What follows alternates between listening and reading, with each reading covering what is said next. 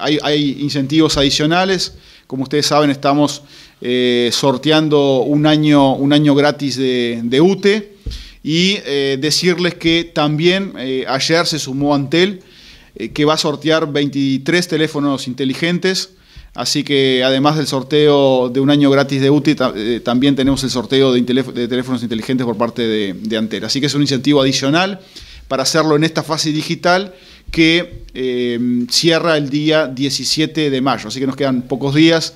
Eh, les pedimos a los vecinos que aprovechen este canal.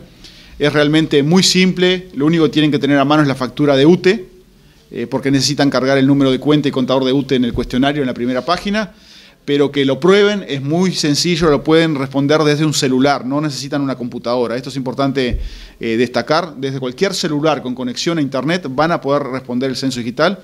Eh, es fácil, es rápido y es un medio seguro para hacerlo y con esto además nos evitamos luego, eh, bueno, tener que interactuar ya en la fase presencial con un censista que, que, va a llegar a nuestra casa a lo mejor este, en cualquier momento. con esto elegimos el momento en que queremos ser, ser censados. Eh, y bueno, y, que de esa forma también este, hagamos subir a Tacuarembó en el, en el, en el ranking de respuesta eh, digital.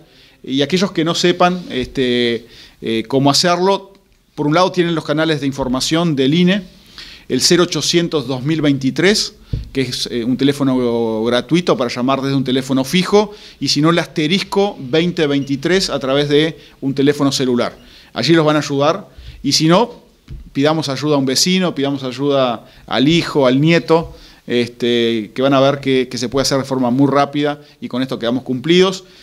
Eh, recordar que es un único cuestionario por todos los miembros del hogar. ¿sí? Eh, en un único cuestionario se reporta a todos los miembros del hogar y como dije al comienzo, lleva alrededor de 20-25 minutos llenar el cuestionario para todos los miembros del hogar. O sea que es muy rápido, es muy intuitivo el, cuestionario. Eh, así que bueno, este, los animo a que, lo prueben y a que lo intenten. Estoy abierto a, a cualquier consulta que ustedes puedan, puedan tener al respecto. ¿El asterisco tiene costo? ¿Perdón? ¿El del asterisco tiene costo? No, ninguno, ninguno de estos teléfonos de información tiene, tiene costo, ni el 0800 2023, ni el asterisco 2023, son teléfonos gratuitos, así que cualquier consulta que tengan, tanto para iniciar el cuestionario digital, como también posibles preguntas que, preguntas que tengan dentro del cuestionario, pueden llamar allí que los van a atender este, eh, telefonistas y los van a asistir. ¿Cuántas personas en Tacuarembó estarán trabajando aquí en el censo?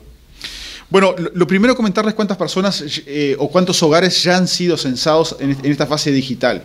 En la fase digital estamos en este momento eh, en alrededor de 5.000 hogares en Tacuarembó que ya han sido censados de forma digital.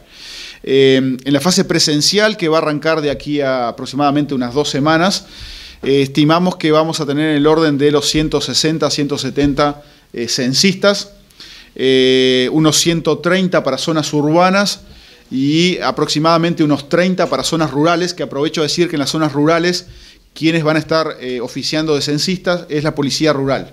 Solo en las zonas rurales eh, la policía rural va a estar asistiendo a gente que tiene mucho conocimiento de las áreas rurales, que tiene mucho contacto con los vecinos y ellos van a estar censando en las zonas eh, rurales. En las zonas urbanas es personal contratado por el INE, que como digo van a comenzar aproximadamente aquí a dos semanas. Se van a estar entrenando este, capacitando ya eh, a partir de esta semana que viene. Eh, y bueno, y la semana siguiente van a estar eh, saliendo a campo.